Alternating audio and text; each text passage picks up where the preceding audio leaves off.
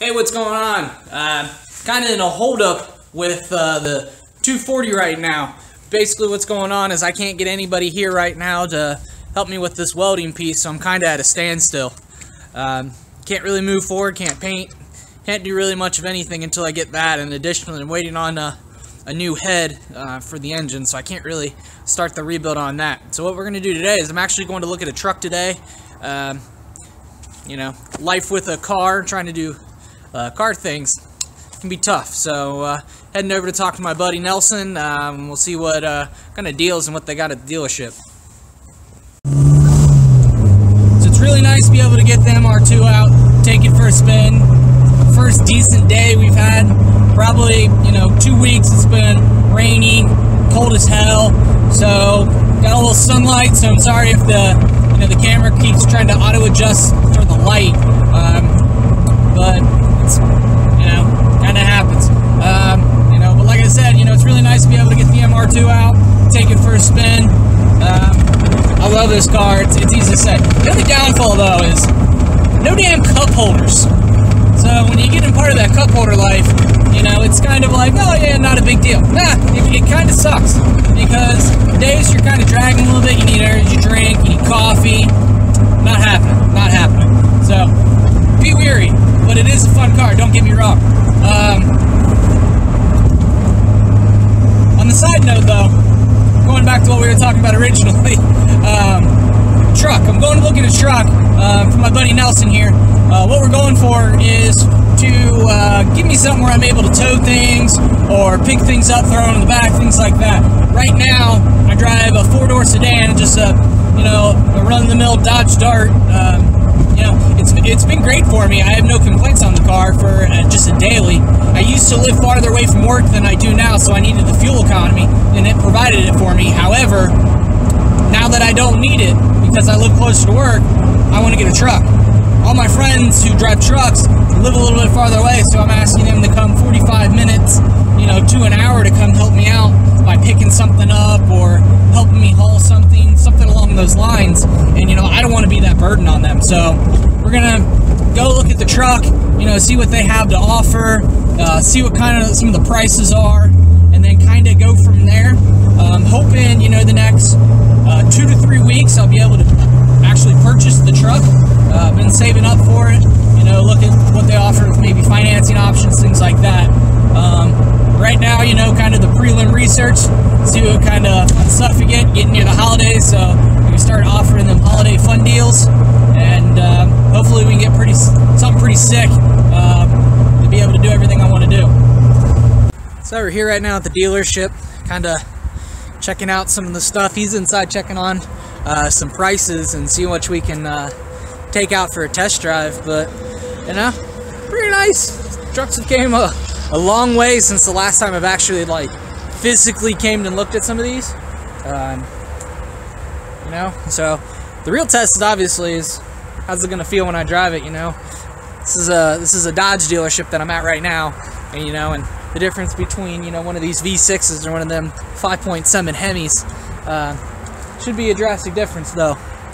You know, so uh, yeah, like I said, he's inside. He's checking out some prices for me on you know some of these that are sitting behind me here, um, just to give me a, a ballpark on what I'm looking at.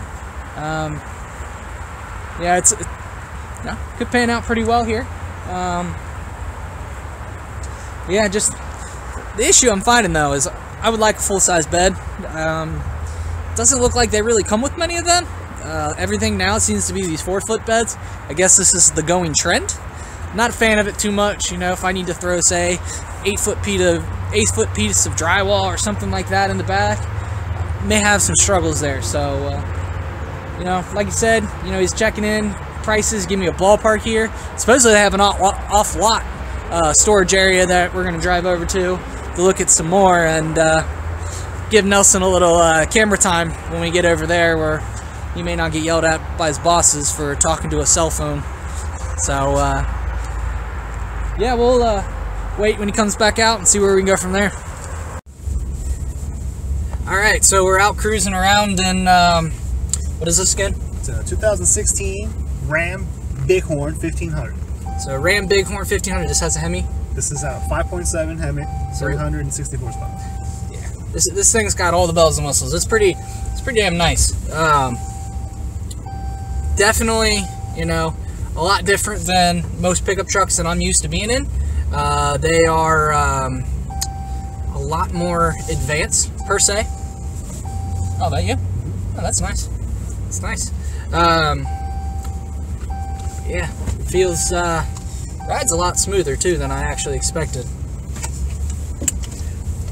I mean, you you could you can really hide some crap in this thing. There's there is more cubby holes and cup holders and all that fun stuff than every vehicle I own combined in this thing.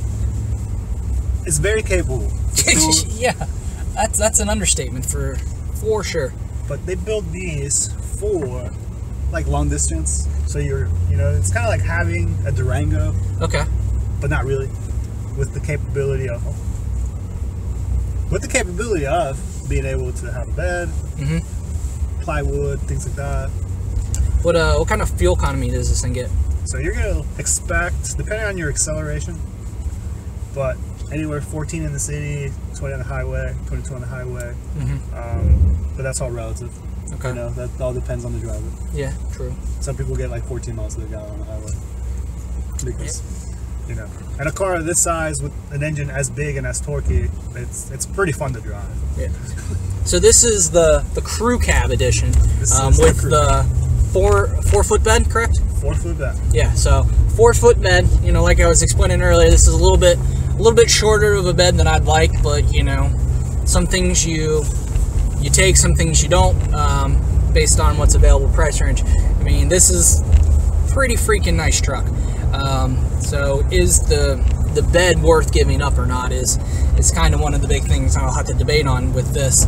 Uh, we're on our way to your other lot, correct? Yes. So we're on our way to his other lot, um, see what they have in store there to see if um, you know he can kind of break down some of the packages a little bit better for me, so I can get visuals on it all, um, help make sense of this. I'm sometimes I'm a little bit of a slow learner. I gotta see every step of the way to comprehend stuff. He's used to dealing with my dumbass. Very slow. Um, so uh, we'll, we'll see what he has available there, and uh, we'll kind of go from there. And you know, we'll let uh, we'll let Nelson uh, break down everything for us and kind of uh, see what he has to offer. All right, so we're walking around the second lot here, uh, just looking out some of the other options that he's got here. So uh, found some stuff we really liked. Um, wasn't as many options as we originally thought. Obviously, end of the year, they're selling everything like hotcakes to make room for all the new 2018s. That's right. So, uh, you know, he's going to have to check through his computer systems, see what he can find for us here, and uh, kind of see where he can. Obviously, I'm not buying like today, so it's it's a little easier for him. You know, he's got my he's got my timetable and what I'm looking at, so hopefully he can do some uh, digging and you know find me a diamond in the rough for a good price. That beast over there, Diesel. Yeah, dude. Oh, it doesn't have a bed. No bad. It's a chassis. Yeah. Chassis cab. I don't know if you guys can see this over here. Yeah, we'll, we'll go take a look at it. This sweet, this thing is a monster. However, somebody stole the bed off of it. No, that's how they come. Oh, they come like this. I, I don't understand why. Because you can do a dump bed. Oh, I guess this can can be converted for a dump bed. Yeah. So you can you can do whatever. Ah, the sun's gonna screw me up maybe. Yeah, so it's a Ram 2500 with a Hemi. This thing is beautiful, nice red. However, you got the back here. There's nothing there. To- totally fooled me. Totally fooled me. I was like, oh, look at this dope truck. No, not at all. Yeah, I, I don't need a dump truck though. No, no. Actually, we have one that we outfitted back on the lot that I'll show you what it looks like when it's done. No, so supposedly they have one of these with the finished product, so Oh, yeah, that'd be pretty cool. actually have different options on the dump bed. I don't need a dump truck. I don't need a dump truck. that.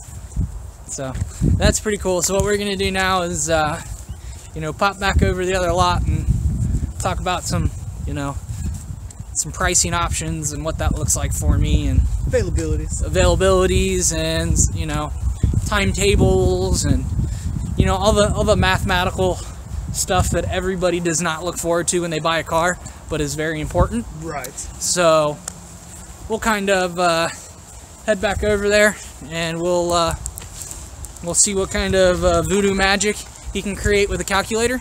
A little voodoo. A little voodoo. So we're getting another early start. Um, some interesting things happened last night. Uh, Nelson gave me a ring. Uh, we found out that we can find a way where we can do the deal on the truck um, that I really liked today. Um, it kind of benefits both of us. Uh, it works in my financial range. Um, doesn't put me in a bad spot. Also gives him a deal. Um, obviously, he's car salesman, so uh, any sort of uh, sale is good for his numbers. So it's a win-win for both of us. Uh, so it's pretty cool. Uh, getting rid of the daily here. Um, so be an interesting adjustment going from, you know, sedan to uh, a nice truck. So we'll kind of hand it from there. Started a little bit earlier today though because they said they're pretty busy come noon. Um, you you can't see it obviously, but it looks like it's gonna be a crap day. Um, it's pretty gray out. It's super windy. Forecast for storms sometime after after lunch. Um, so I'm really not looking forward to that. So anything I want to do outside, um, I'm hoping I can get done prior to that. I do have a little bit of yard work I'd like to get done, but it kind of dictates on if this rain holds off or not. Um, additionally, um, this, the team I support plays at 10, um, so I want to make sure I get that done. So that's why I'm trying to get it everything uh, in the work so I can obviously a watch the game in time and uh, b get my yard work and stuff done before uh, potential monsoon hits. But you know, pretty exciting day. Um, hopefully, uh, one of the guys I've been talking to will uh, get back to me today on the welding piece for the 240. Um, I'd really, really like to be able to get that done this weekend. Um, if not, if I can't get it done, um, have to get a little interesting. Um, obviously, for me, being kind of a perfectionist, I want this to look good. I'm putting the time into it. It needs to look good, so I'm not just gonna, you know, super glue it in or anything like that, because it'll just fall out and it'll look like garbage. Um, so, if can't get somebody in today or tomorrow, then um, have to go back to the drawing board, see what we can do. Um, so we'll, we'll see where that takes us. Um, yeah, so on the way to the dealership, getting uh, getting the new uh, vehicle, and should be uh, hopefully the start of a good day. Okay, it's official. I'm a truck owner. Uh, pretty cool. I ended up with uh, 2015 uh, Silverado. I got it for you know with only 20,000 miles on it. It was owned by somebody who had a lease prior to, so got a really good deal on it. It's used uh, everything I, I, could potentially want. It's got the backup camera. It's got you know touch display, everything like that. It is what would you would call it used to call it cab and a half. They don't call it that anymore. But uh, so there is a little bit of a back seat area. I did get a six foot bed. Um, it's this nice like metallic blue color, so it looks pretty sharp. Uh, got rail liners, six foot bed, as I already said, um, and it's a line bed too, which is huge. Um, one of the, you know, one of the only downfalls to it is, is it doesn't have Android Auto. I mean, that's really nitpicky, first world problems. Um, so supposedly there's some sort of attachment you can get through the dealership, but it sounds like it's pretty pricey. Um, I'll give you a walk around of the truck uh, as soon as I can. It just started raining. Um, it's super windy out, so once that dies down, um, I'll give you a walk around. It's supposed to storm um, pretty much for the next few hours, so it might be a little bit delayed um, from here. If I can't get it done, you know, I'll just put it on the next video. We'll kind of go from there. Still haven't heard back on anybody regarding welding, uh, which is kind of a bummer, but um, you can you can only do so much with that. Um, and when you know when I hear something, you know, we'll get that lined up and taken care of, so we can get continue rolling on the 240 uh, and get that going on and uh, yeah it should be uh, it'll be a good time once we get rolling on it. But like I said, one little hold up, and then we'll kind of go from there. So it's a bit late. Um, probably can't see the truck very well. Um, long day at work, so I wasn't able to get a uh, good daytime video of this for you. Um, see if I can get up here. Got a nice like sparkly metallic blue. Um, yeah, I ended up going Chevy.